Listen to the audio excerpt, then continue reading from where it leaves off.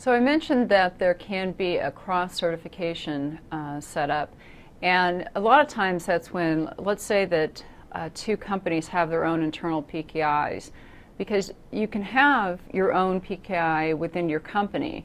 The company can choose to have its own um, certificate authority, which it has to maintain, or the company can just have the uh, RA uh, and maintain that and use an external uh, CA like Entrust or um, VeriSign or one of those. So there's companies that provide the service specifically of creating uh, digital uh, certificates.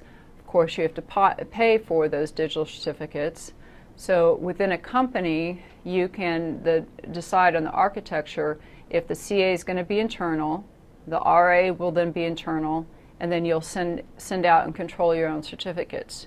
Or you can have an RA, which means that the registration goes through your RA, and then the request goes out to the, um, the CA that's outside your, your company. So it's, it's up to uh, the organization. A lot of times the decisions come down to cost of the certificates and uh, the ability to have the skill set to properly protect that, that CA, since that's the trust. We all trust that CA, and if it's compromised, um, we don't know what to trust. The digital certificates can't be uh, trusted anymore.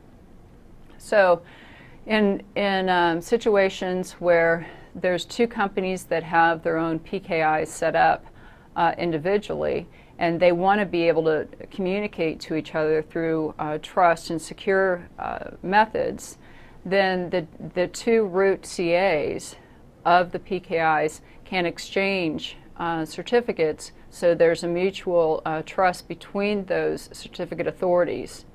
Now that just means that a user in one company can directly communicate with a user in another company and they'll validate each other's um, certificates.